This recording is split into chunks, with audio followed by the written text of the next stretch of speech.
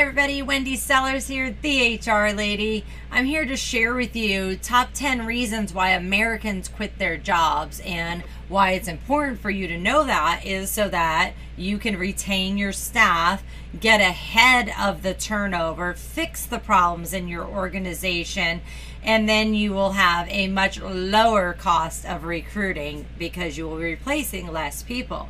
So the number one reason is poor pay. This is the most common reason why people quit their jobs according to a study by the Pew Research Center. 63% of employees said that compensation and benefits were an important factor in the decision to leave their job. Number two is lack of career advancement opportunities.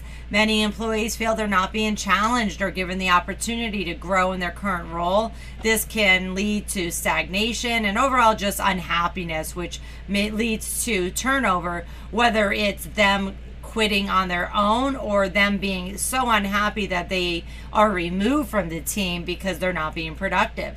Number three is an unhealthy work life balance. We've heard about this a lot over the past few years, and it is true that employees want to work less and have a little bit more control over their jobs, which is easy to do in some roles and not so easy to do in other roles. But if you are not making their jobs a healthy work life balance, then they may look for another organization that is willing to do that for toxic work environment. This is either managers or employees.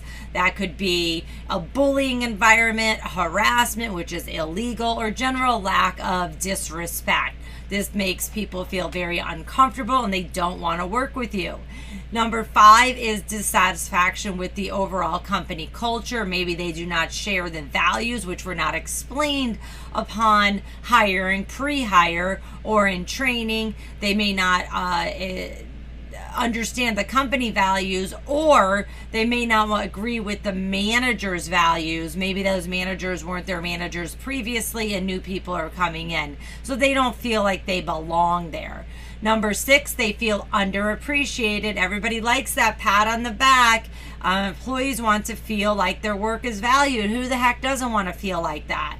That they're making a difference to their to the world, to their community, to their coworkers, the customers as well. If they don't feel appreciated, they may start looking for a job somewhere else.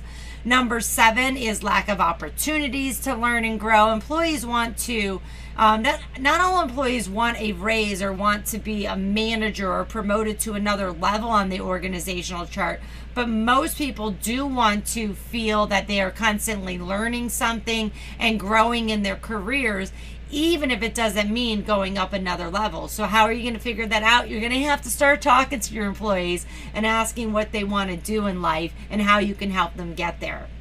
Number eight is if there's been any changes in leadership that may scare people off. They may have liked the status quo or they may not like the changes that are coming. And so they may also may not just feel confident in the new leadership because the leaders haven't been introduced and um, onboarded, so to speak. Number nine is relocation. If employee is asked to relocate to their for their job, they may not be willing to do so. They may not be able to do so.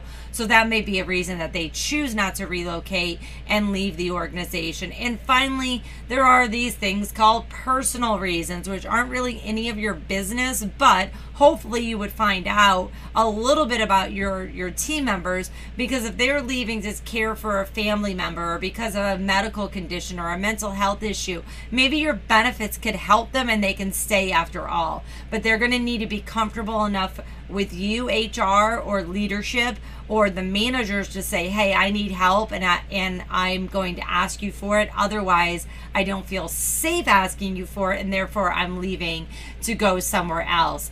These are some really, really scary statistics here. Um, a lot of this information is again from the Pew Research, from SHRM. Um, in 2022, we found that 70% of employees that said they were considered 70% of their employees said they were consider leaving their current job, and that is why they were uh, not engaged because they were like, why should I get engaged with what's going on when I'm probably leaving in the next three, six, 12 months? Glassdoor has a lot of information and Indeed as well. If you're looking for any other information, please reach out to me, Wendy Sellers, the HR lady. I hope that you take this information and say, you know what? I need to dig into this further and stop the turnover train. And I also need to train my managers.